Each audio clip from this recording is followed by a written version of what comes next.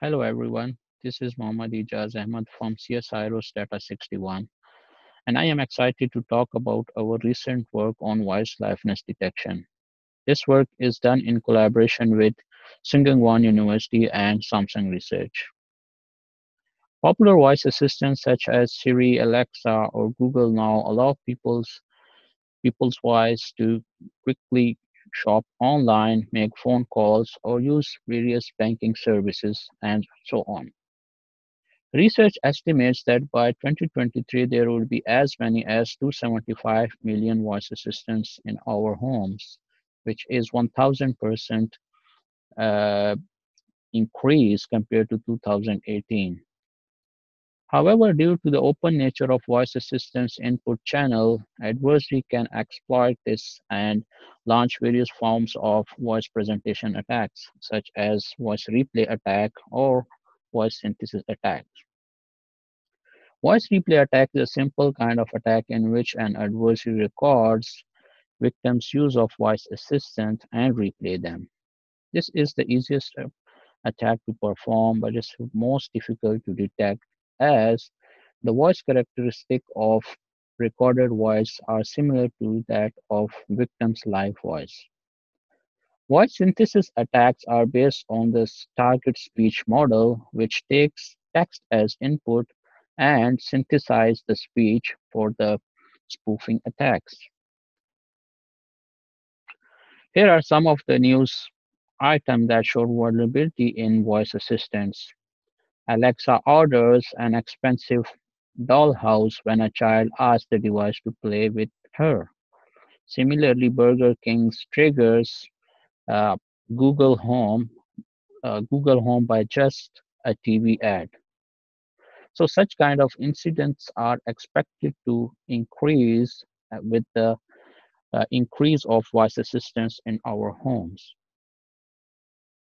So voice liveness detection is actually the system or AI that detects if the voice that is received is from the live human or it is from the loudspeakers. It also resembles to like the Turing test that was proposed by Alan Turing in 1950. So before designing any uh, solution, there are certain requirements from industry that should be met our uh, conversation with speech recognition engineers from a big IT company revealed that strict requirements regarding latency and model size must be considered before deploying any machine learning services. For example, the processing delay must be less than 100 milliseconds, or a single GPU may be expected to concurrently process 100 or more voice sessions. More importantly, on-device implementations are also considered this because this will reduce the extra burden on remote server, the communication latency, and most importantly, the privacy issues concerning the voice samples is could also be addressed here.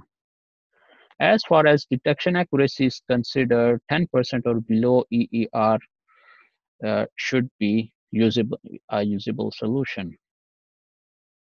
Our contribution here is to, to make a solution that is fast, lightweight, and easily implementable in commercial devices. Void is a solution which takes only 97 features and a single machine learning model and which is robust against different environmental settings. We evaluated our approach on two large data sets consisting of 250, more than 250 voice samples from 120 participants and more than 18,000 samples, which consist of 42 participants. Void achieved 0.3% and 11.6% EER respectively on both the datasets. Void is eight times more faster and uses 153 times less memory compared to the best performing solution in ASVspoof competition.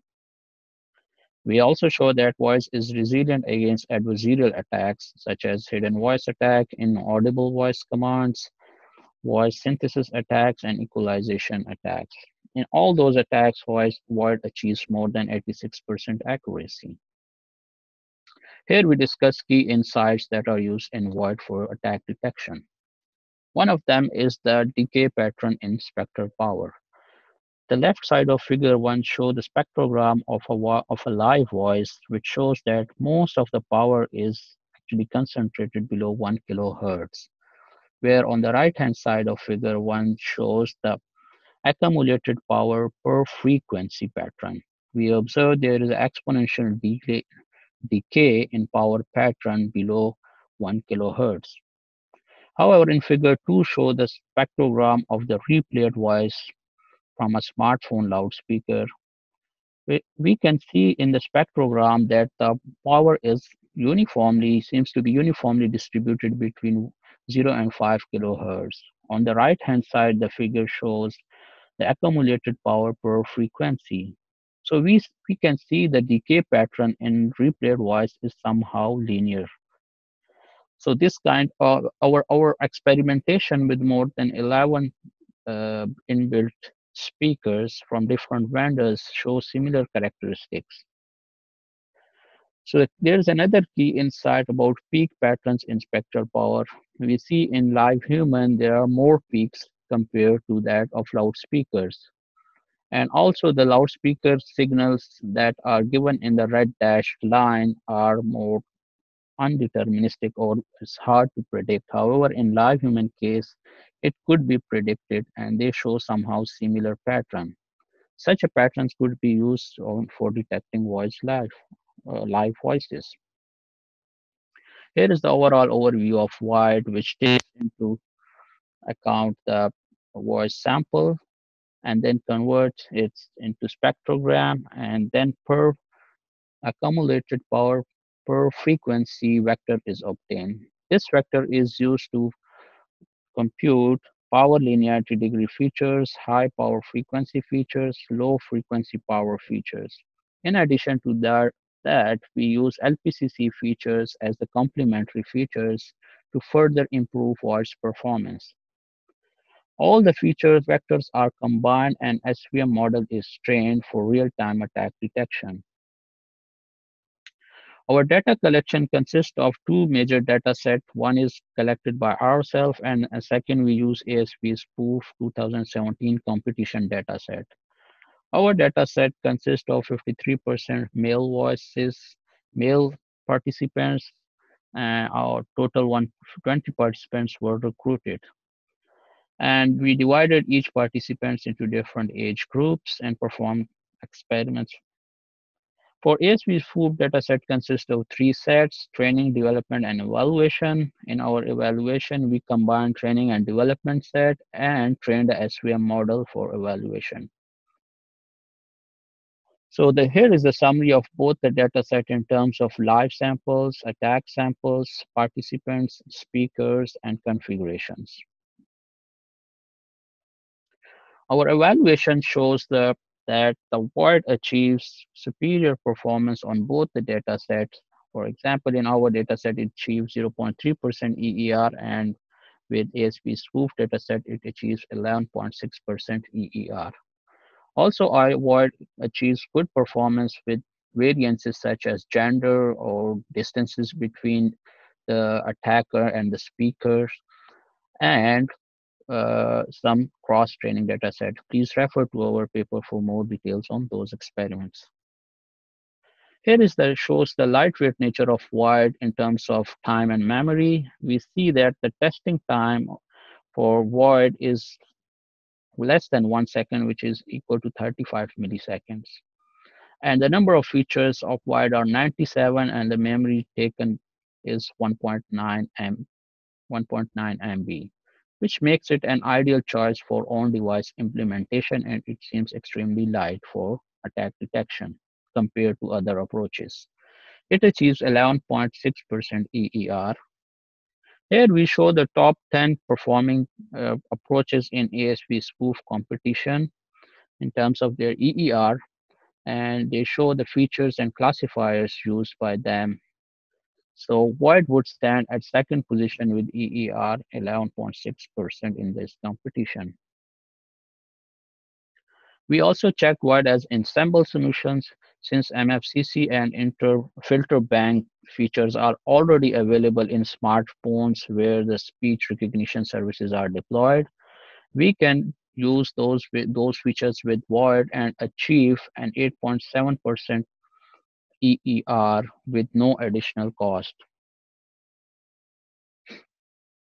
Here we show the adversarial attacks against Void. We show hidden voice commands. Hidden voice commands are refer to the command that are not cannot be interpreted by human ears, but they are interpreted and processed by voice assistants.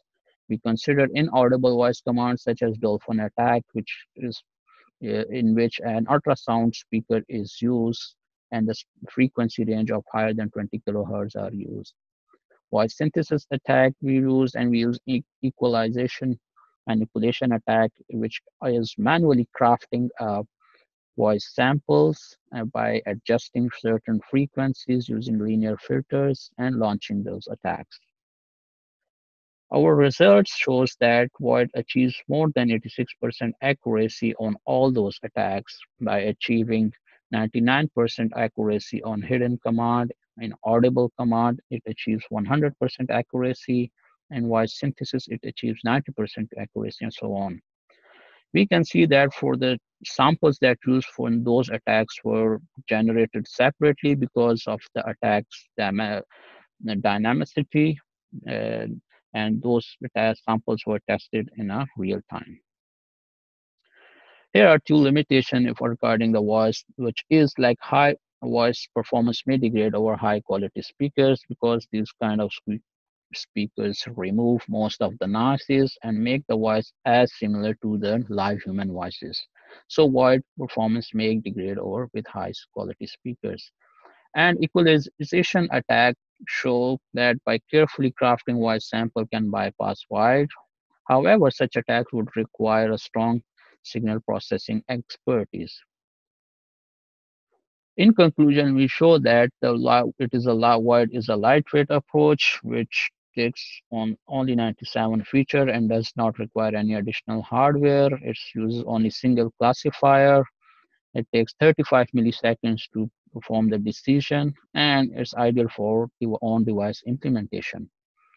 It's efficient and we show 0.3% EER and 11.6% EER in terms of performance on two data sets and was uh, quite resilient against adversarial attacks as well.